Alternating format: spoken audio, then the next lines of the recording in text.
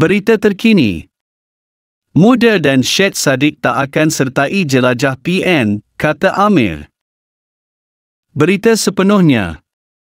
Ahli Parlimen Muar, Syed Saddiq Abdul Rahman tidak akan menyertai siri jelajah bersama Perikatan Nasional, PN, kata Setiausaha Agung Parti itu, Amir Hariri Abdul Hadi.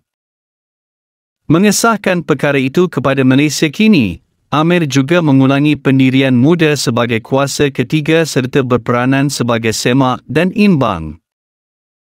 Muda sebulat suara, memberikan komitmen sebagai blok ketiga dalam dan luar parlimen dan akan terus menjadi semak dan imbang kepada kedua-dua blok utama dalam politik Malaysia.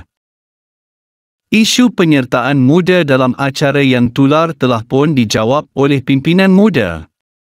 Kami ingin sekali lagi secara tegas mengingatkan kepada semua pihak agar tidak sewenang-wenangnya mengeluarkan kenyataan melangkaui keputusan parti, katanya dalam satu kenyataan hari ini. Malaysia kini telah menghubungi Syed Saddiq dan Wakil PN untuk mendapatkan komen tetapi masih belum menerima sebaran maklum malas. Dua hari lalu, pemangku Presiden Muda, Amira Aisyah Abdul Aziz berkata kepimpinan muda akan bertemu untuk membincangkan hala tuju parti dan juga untuk memutuskan sama ada parti itu akan menyertai siri jelajah bersama PN. Minggu lalu, Muhyiddin mengumumkan PN akan memulakan jelajah ke seluruh negara untuk menerangkan hal ehwal semasa kepada orang ramai selepas bulan Ramadan. Siri jelajah itu katanya akan turut disertai Syed Saddiq. Susulan itu, Setiausaha Agung Parti itu, Amir berkata perkara itu tidak dibincangkan dalam jawatan kuasa pimpinan pusat. Syed Saddiq kemudiannya mewajarkan penyertaannya dalam siri jelajah itu dengan mengatakan ia tidak bermakna dia menyokong Pakatan Pembangkang. Amira juga mengulangi bahawa muda hanya bekerjasama dengan PSM.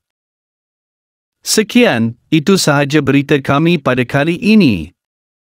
Semoga anda semua mendapat manfaat dari berita yang kami sampaikan sebentar tadi.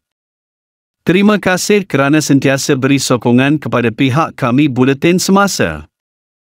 Kami harapkan anda tidak pernah terlepas berita daripada kami pada setiap minit dan jam.